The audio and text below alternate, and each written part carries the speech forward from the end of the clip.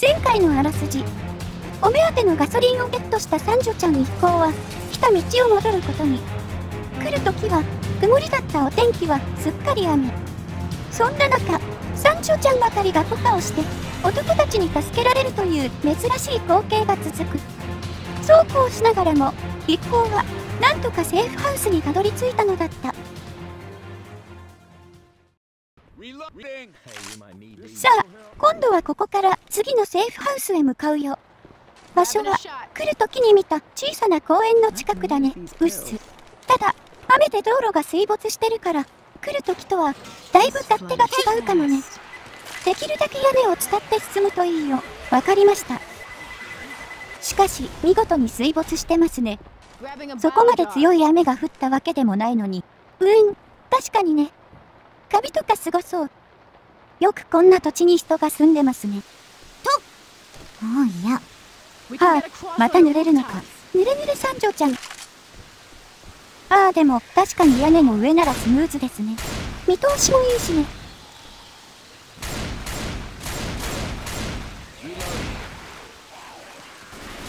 ぴょん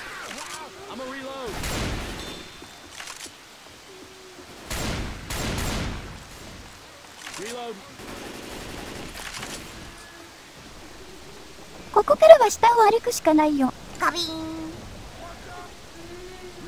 近くにリーチいますね。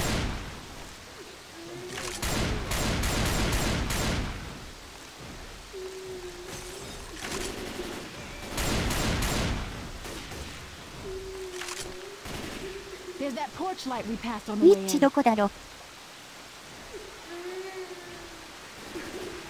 こんな死体だらけの場所で水浸しって病気になりそうですね。そうだね。衛生的とは言えないね。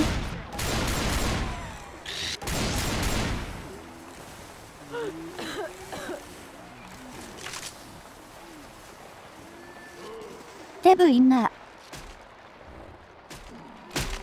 えい。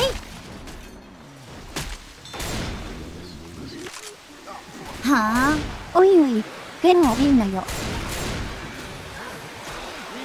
ぶちかませ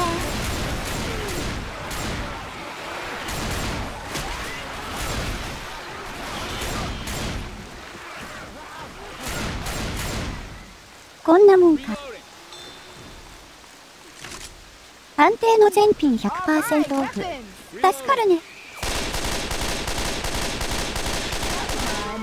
ガバガバエイム。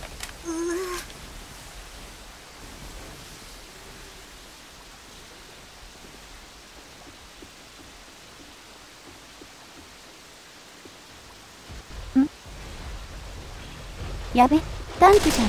足が悪いところには行かないようにしないとすぐ追いつかれちゃうよ。と言っても、浸水してない場所なんて狭くて逃げ回れないですよ。追い詰められる前に倒すしかないね。は車線の前ですぐ。やばいやばい。チャンス。はーいよーし、なんとかなったわ。タンクさえ倒しちゃえば、こっちのもんだね。How you want? Healing. Hold on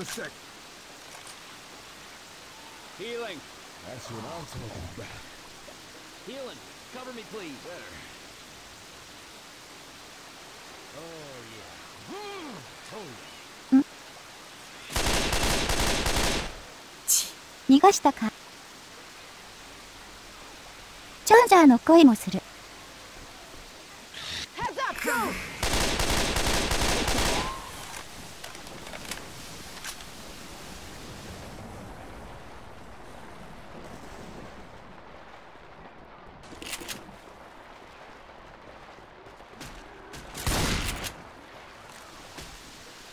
公園まで来たね。セーフルームはもうすぐだよ。うっす。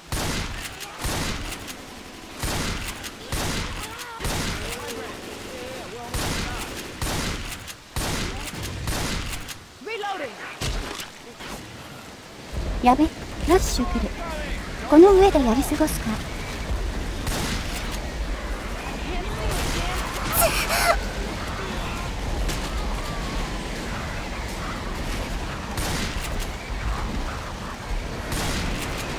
そんなに来ねえな。あ、来始めた。公園で無邪気に遊ぶ感染者たちの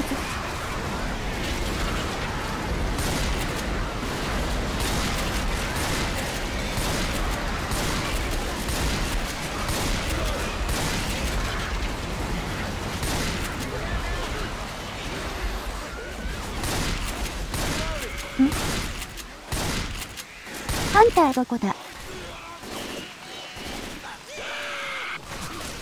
そこか。よっしゃ、そんじゃ一気に行くぜ。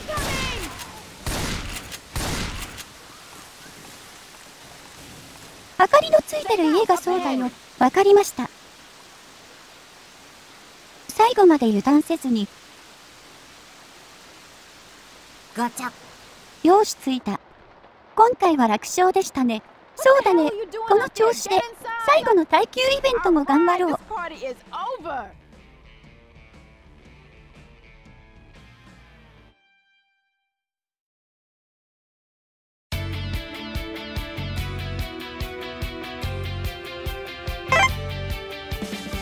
声のする方の逆から敵が来ると気づくな。ガソリンの入ったドラム缶だと、満杯状態なら一発では爆発しないらしいね。あと、拳銃は、鉛玉だからそもそもドラム缶を貫通できないとか。ガソスタの給油機の場合はどうなんだろうね。現実だね。範囲に入って攻撃が当たる位置にいれば撃つのかな。射撃精度だけはそれなりだからね。この、しかもびしょ濡れときたもんだ。そうだな。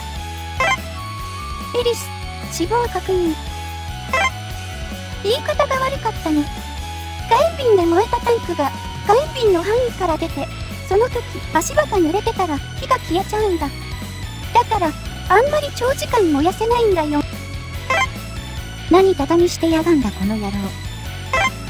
体感時間が遅くなって、自分が速くなってるように感じるのかな走馬灯とかもそんな感じなのかな。